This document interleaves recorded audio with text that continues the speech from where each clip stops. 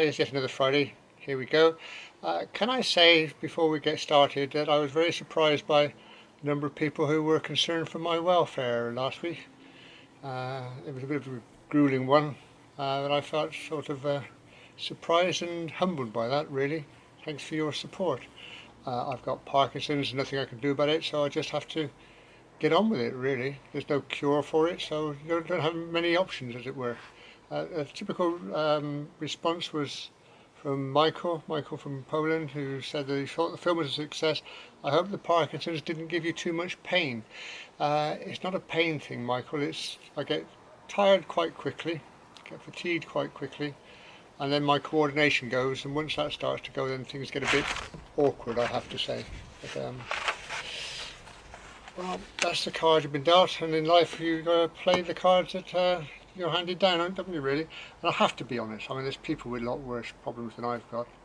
People give their eye teeth to be able to do what I do, I think. So if they can manage, I'm sure I can, but thank you, thank you again once again for the support. Do appreciate it. Right, matters arising. This is on uh, the vlog from two weeks ago. Nick Jones, he loved the Frost pictures. It brought back lots of memories. He used to live not far from here and he used to actually sledge down that slope. Blimey. and he used to sledge on corrugated iron. He had one or two adventures, I can imagine. Oh my god. Right, Peter Smith. Wasn't sure which he enjoyed the most, the uh, scenery or the music. Uh, he said, congratulations to the head gardener. Well, I'm afraid you're not looking at the head gardener. She's out somewhere round and about. David Bennett, who loves a nice amble in the frosty mornings. Yep, we've got a few of those uh, coming up. Though David says where he is down in Essex, don't get too many. Well, always welcome to go up here and share ours. no problem. Yeah, I know what you mean. Uh, you go out the morning as the sun's out and a little frost around. It's magical, isn't it? You're absolutely right. Yeah. Jim Nichols. Jim's got a guilty secret. Secret safe with me, Jim. Well, Jim says. A lovely close-up tour of Kew Gardens. That's my wife's displays once again. It was even better when I saw it last. I can't keep the secret, Jim. Jim's guilty secret. He says, and I quote, I went to Wisley once on one of my visits back home. I was taking a photo and stepped back to get more in, knocking over a very big, and no doubt expensive, pot in the process. It split completely into, oh my God, what you, what, you do? no wonder you live in New Zealand, Jim. I rather suspect that we've got your photograph, mate, and all the customs posts, there'll be your photograph there. Wait till you come back next time. Sumac MacArthur, who's our channel mascot. This week, James Weeks. Sumac MacArthur. Ron, too hot to sleep. This is from Canada. Ron, too hot to sleep. James is too cheap to turn on the air conditioner. James, you tight person. Turn it on. James himself, you know, we've been giving James a bit of a hard time with his uh, filming just lately. When I'm back at work teaching in September, I promise to borrow a camera from our lab and shoot an abandoned rail line near here for us to see. Wow, yeah, that's what we want, James. Go for it. We're going to hold you to that, mate. Wonderful. Lionel Whyton. Yeah, Lionel follows our channel. He says, as you are interested in railways, you might like my latest YouTube effort. It was actually filmed between 2014 2017 and been lying on my hard drive ever since. Yeah, I know that feeling. That's where all my film club stuff's coming from at the moment. The older stock. And um, Lionel gives leaves a link.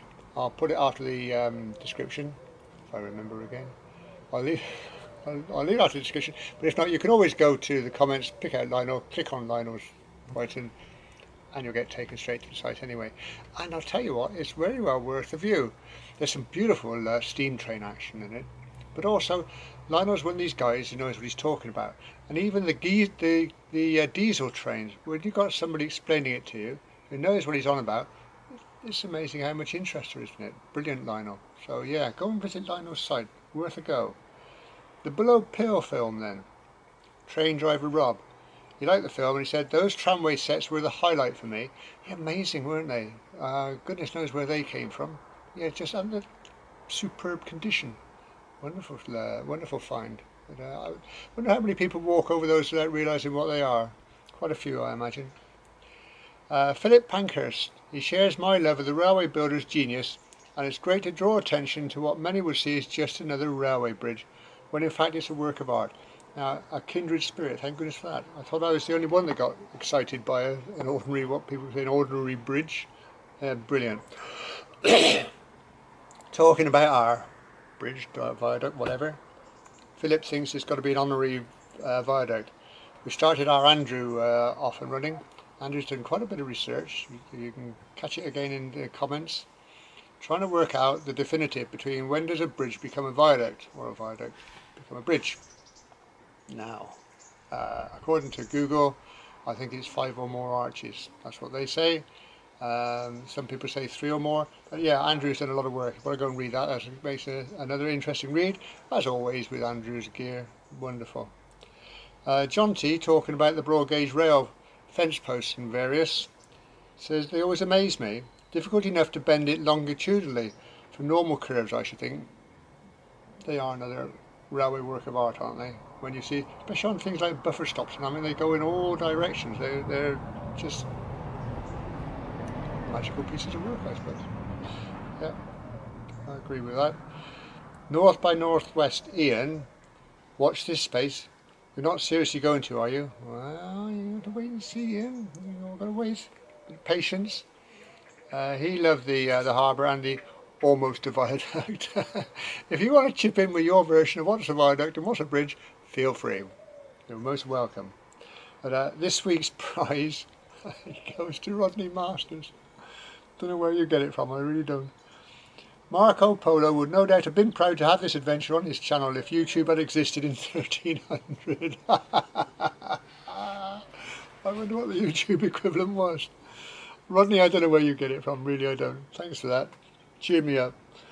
Next week then is a return to Bullo.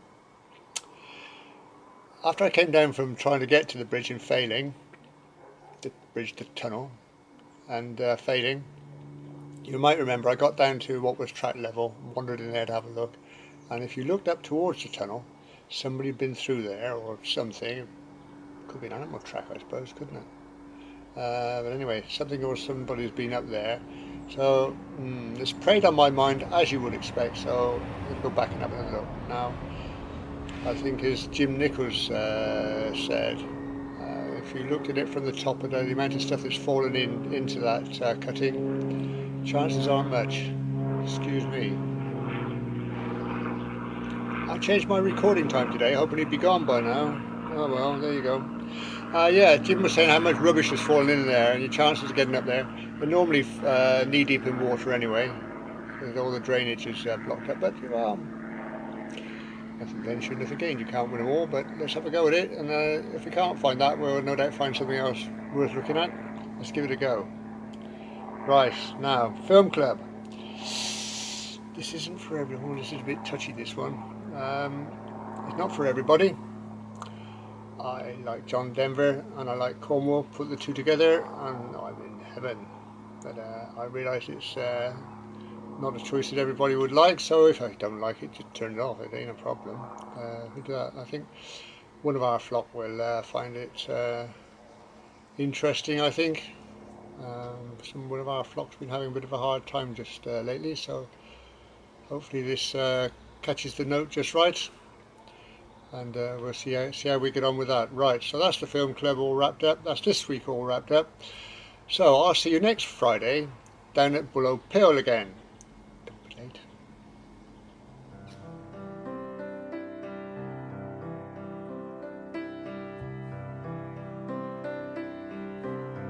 just to look in your eyes again, just to lay in your arms, just to be the first one always there for you, just to live in your laughter, just to sing in your heart just to be every one of your dreams come true, just to sit by your window, just to touch in the night, just to offer a prayer each day for you.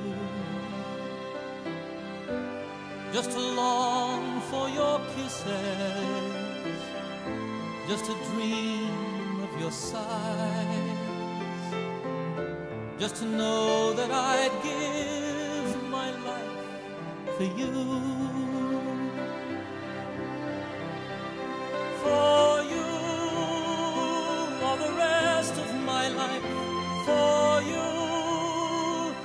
Best of my life. For you alone, only for you. Just to wake up each morning, just to you by my side. Just to know that you're never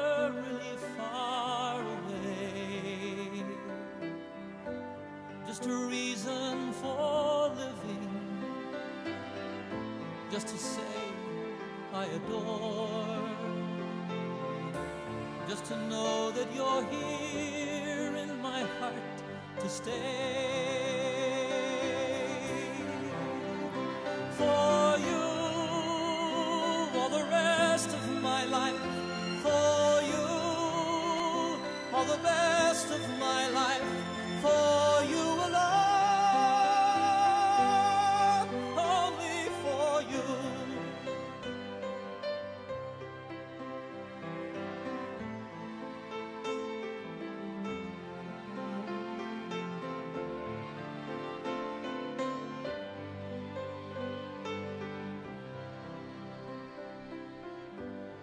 just the words of a love song, just the beat of my heart, just the pledge of my life, my love for you.